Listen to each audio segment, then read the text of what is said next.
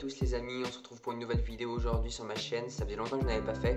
Euh, j'étais un peu débordé par les cours, je n'avais pas du tout, tout j'avais pas du tout le temps euh, d'en faire. Voilà, donc là il y avait l'Open d'Australie et comme cette semaine j'ai pas eu trop de, cours et trop de contrôle important, je me suis dit que je pourrais en faire euh, une, petite pronostic en plus qui marche assez bien en général que vous aimez, que vous aimez bien. Donc du coup j'ai décidé de pronostiquer deux matchs des quarts de finale, Roublev, Medvedev et Nadal Tsitsipas pour moi qui sont les deux matchs les plus intéressants des quarts de finale. Euh, aujourd'hui, on a eu Djokovic qui s'est qualifié en 4-7 contre Sverev euh, en quasiment 4 heures de jeu, je crois, ou 3h30. Donc, c'était Sverev, je trouve, il a mal joué, il a mal géré de ces moments où il avait un break et tout. Donc, Sverev, pour moi, aurait dû gagner s'il avait eu un meilleur mental, mais bon, Djokovic euh, n'a pas très bien joué, mais a su gagner avec le moyen du bord. C'est ça ce qui fait la différence entre un, joueur, un bon joueur et un, champion qui a un, excellent mental. Donc voilà, donc on se retrouve pour aujourd'hui pour parler de tout d'abord de Rublev vs Medvedev. Puis après, on parlera de euh, Tsitsipas Nadal. Donc tout d'abord, euh, Rublev Medvedev. Donc pour ce match-là, euh, Rublev, il est mené 4-0 au, H2H. toutes les confrontations ont été sur dur. Bon, la première confrontation, elle a été en, en de challenger, donc je sais pas trop si on peut la compter.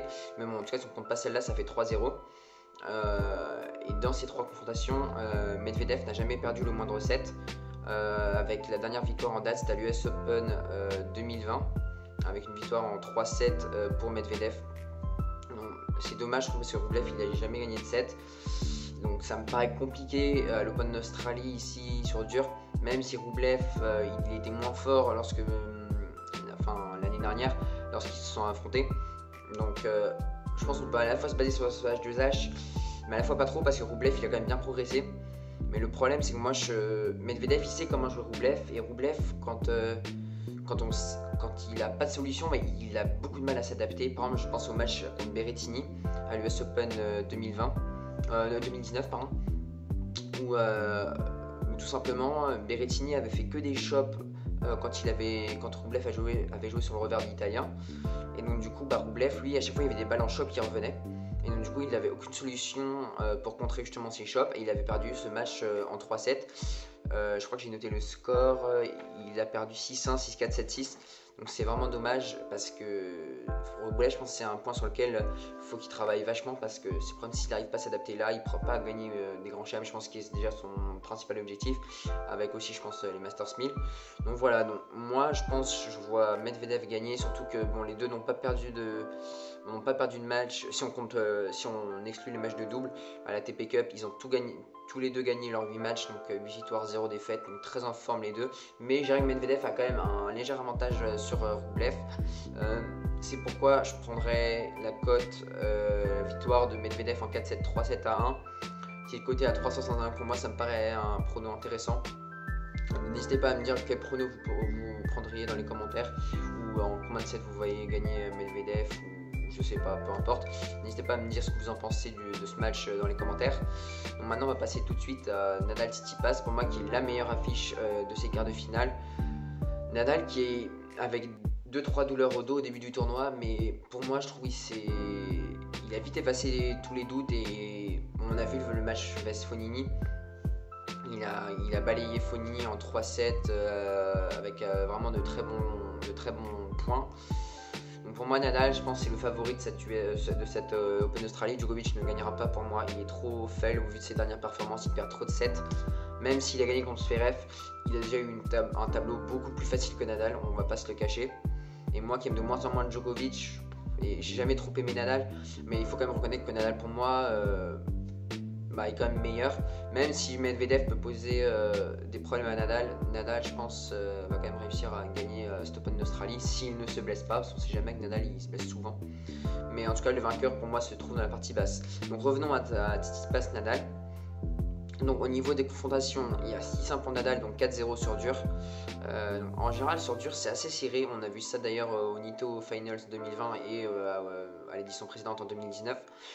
C'est toujours des matchs en 3-7 pour, euh, dans les Nito ATP Finals, donc c'est assez serré. Mais la dernière euh, confrontation à l'US Open euh, des des joueurs, ça s'est soldé par une victoire de Nadal en 3-7. du coup, je n'ai le score, c'est 6-2, 6-4, 6-0. un score sans appel pour Tsitsipas. Bon, c'était en 2019. Tsitsipas joue quand même déjà bien. Donc, ça me pousse un peu à dire que Nadal va quand même gagner, mais je pense que ce sera pas aussi facile qu'en 2019. Au niveau du temps passé sur le court, euh, on a un Nadal qui a joué tous ses matchs euh, et qui n'a pas perdu de 7, tandis que Tsitsipas, lui, euh, n'a pas joué le dernier match contre Berrettini, puisque Berrettini était blessé au 7 domino. et donc, du coup, Tsitsipas, justement, a, perdu 2-7 face à Kokinaki, face à qui a fait un match énorme avec un public en, ébullition. Mais donc, du coup, niveau forme, il n'y a pas vraiment d'avantage, on va dire. Et dans le niveau de jeu, Nadal, je pense, est quand même un peu supérieur à Tsitsipas, qui est un peu plus irrégulier. On l'a vu face à Kokinakis. Euh, mais sinon, contre Gilles Simon, contre Elias Simmer et contre, euh, d'ailleurs, je sais plus qui, euh, contre non pas contre McDonald's, c'est Medvedev qui a joué contre McDonald's, mais contre son troisième adversaire, il a vraiment fait des matchs solides, Tsitsipas. C'est pour ça que je le, je le vois pas non plus perdre, prendre une, branlée comme il avait prise en 2019. je vois un match plus serré et comme pour Robles Medvedev, je vois un score de 3-1 pour Rafael Nadal, ou peut-être 3-2. Je pense qu'il y a moyen qu'il aille chercher le cinquième set, euh, notre ami, notre ami. Et euh, une cote du coup pour les, les 4 sets, donc 3-7 à 1 pour Nadal qui est coté à 3,65 pour moi qui me paraît assez intéressant. Mise de 3-0 là-dessus, je pense que ça peut être pas mal pour gagner quand même pas mal d'argent. Enfin voilà, n'hésitez pas aussi comme euh, dans le match précédent à me dire ce que vous en pensez dans les commentaires. Et puis voilà, du coup c'est la fin de cette vidéo. N'hésite pas à me suivre la sur mes réseaux qui sont dans la description, euh, à me également à t'abonner bien sûr euh, en activant la cloche de notification, euh, à liker la vidéo et surtout à la partager, ça m'aide vachement, ça m'aide vraiment énormément, c'est hyper important le partage, vous vous rendez pas compte à quel point c'est important, c'est quasiment aussi important qu'un pouce bleu pour le référencement. Donc voilà, donc si la vidéo t'a plu, surtout un like et un partage, voilà. C'était Soger, à la prochaine, ciao